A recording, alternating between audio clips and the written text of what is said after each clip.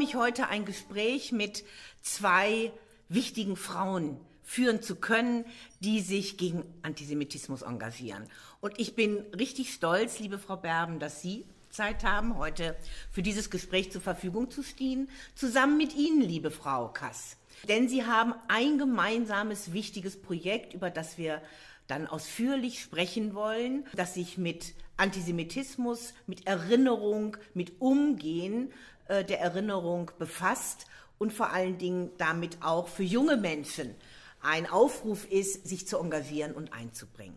Liebe Frau Kass, Sie sind Pädagogin und Sie haben, äh, fand ich sehr interessant, promoviert ähm, über Kinderzeichnungen aus Theresienstadt. Und das hat sie anscheinend gar nicht losgelassen, denn es geht jetzt um ein gemeinsames äh, Musikdrama, wenn ich das so nennen darf, die Kinder der toten Stadt.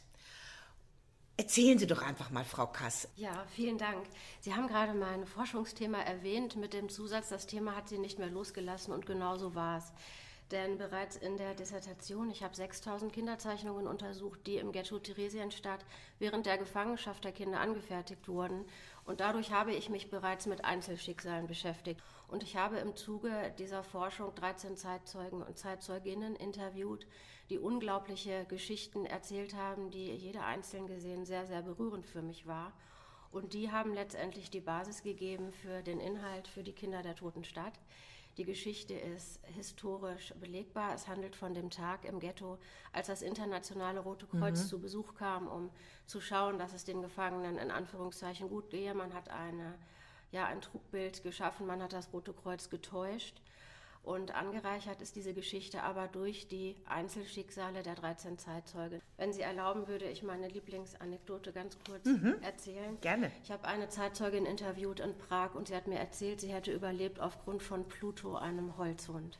Und sie bat mich aufzustehen und Pluto aus der Vitrine zu holen. Das war so ein Hund aus Holz auf einem Sockel mit so Gummibändern. Der hat Sitz und Platz gemacht, wenn man unten gedrückt hat. Vielleicht kennen Sie das.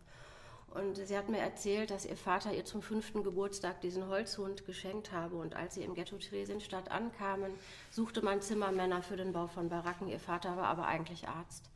Und sie haben diesen Pluto vorgezeigt, um zu beweisen, dass der Vater sehr geschickt im Umgang mit Holz sei. Und das hat die SS überzeugt und so durfte die Familie im Ghetto bleiben. Und das ist der einzige Grund, warum die Familie oder letztendlich mhm. das Mädchen überlebt hat. Und in unserem Stück ist der Holzhund das Pferd aus Holz. Kinder der toten Stadt, tote Stadt, Theresienstadt, denn da war ja nachher kaum noch Leben.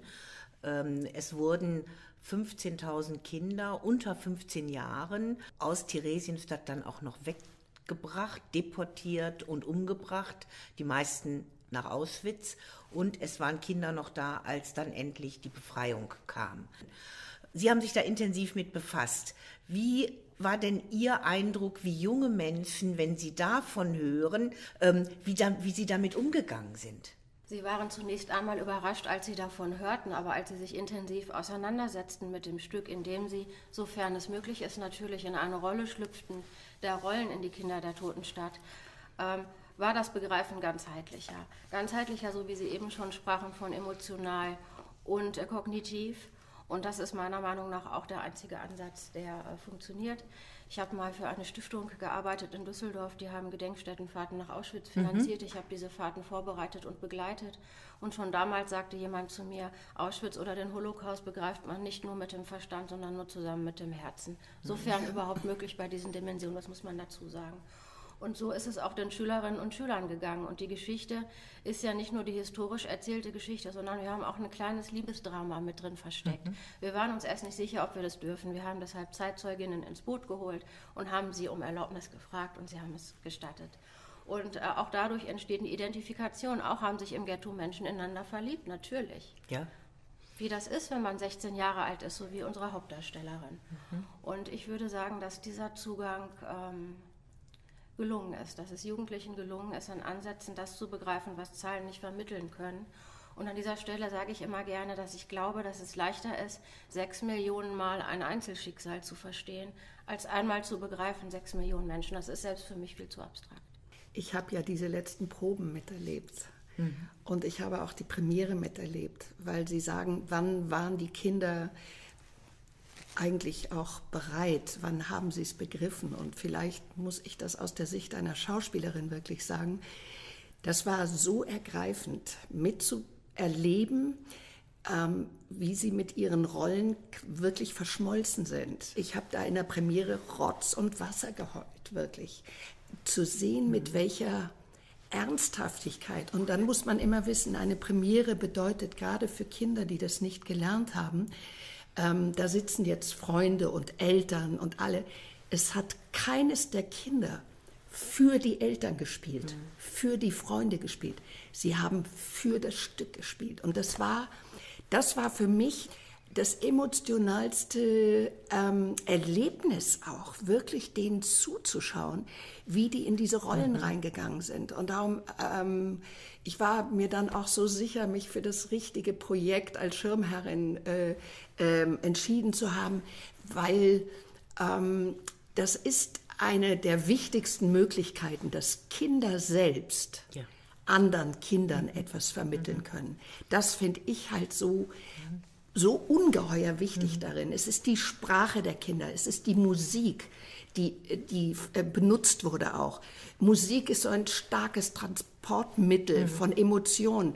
Es ist diese kleine Liebesgeschichte, ja, aber es sind die Ängste, es sind die Gespräche, die sie führen.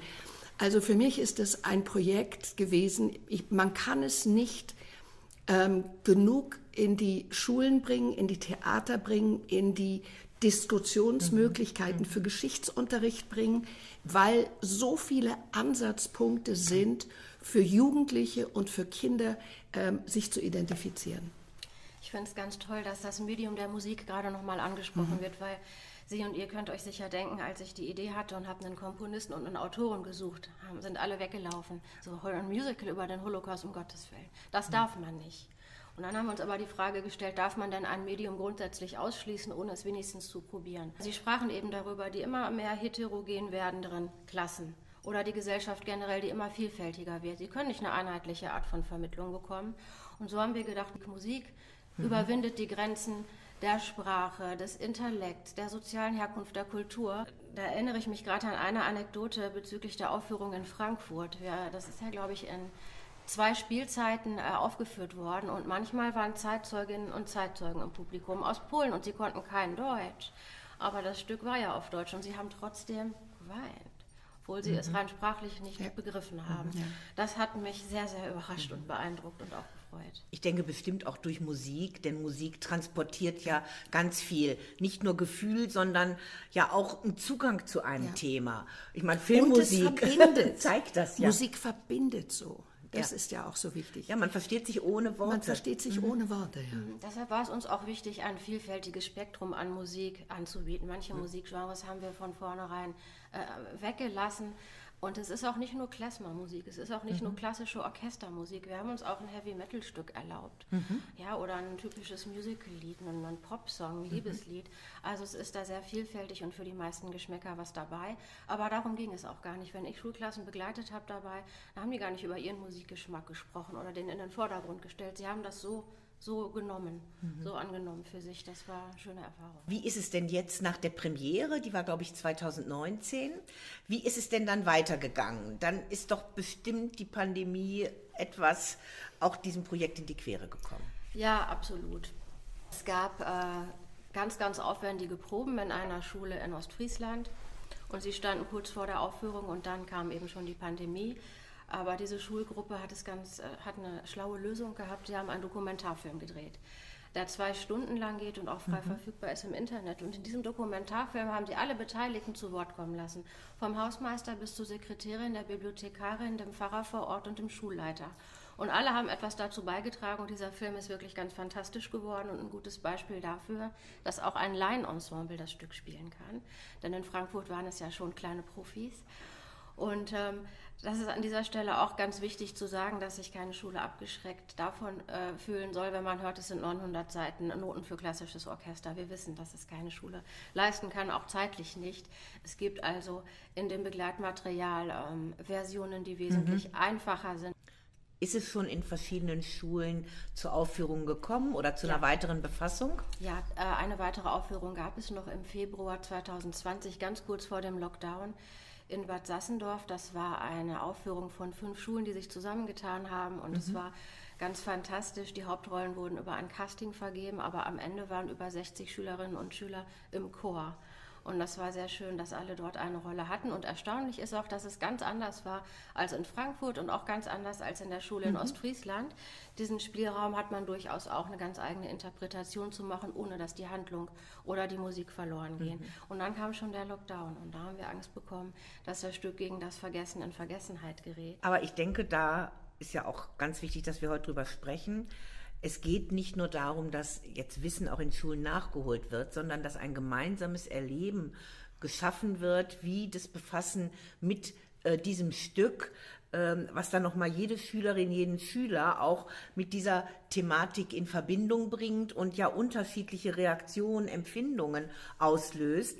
Und ich finde, das Allerwichtigste ist, wir müssen möglichst viele, viele junge Menschen erreichen, dass sie sich dadurch angesprochen fühlen und sehen, wir haben hier auch eine Verantwortung Richtig. in unserer Gesellschaft. Wir hoffen doch einfach ganz viele Lehrerinnen und Lehrer zu erreichen mit diesem Podcast jetzt hier, die sich berufen fühlen und aufgefordert fühlen, ähm, äh, das vielleicht als ein Teil ihres Unterrichts zu sehen. Und eben jetzt nicht gebunden sind an ein ganz bestimmtes Fach, das zu tun, sondern auch klassenübergreifend, nachmittags in Theatergruppen, wo auch immer, das, sag ich mal, zu ihrem eigenen Thema zu machen. Und meine Erfahrung mit ähm, Lehrerinnen und Lehrern in Nordrhein-Westfalen ist, sie sind sehr froh, wenn sie etwas haben, was sie, sag ich mal, ein bisschen abrufen können für sich mhm. und dann auch ein bisschen Unterstützung haben, Hilfe haben, daraus etwas wie es eben passt an der Schule, für sich aus zu entwickeln als ein eigenes Projekt. Und mit den Kindern der Toten Stadt mit diesem Musikdrama, mit einem Hörbuch, mit einem Drehbuch oder mit einer Ausarbeitung hat man schon mal ganz viel an der Hand. Und deshalb, liebe Frau Kass, ähm, was wünschen Sie sich?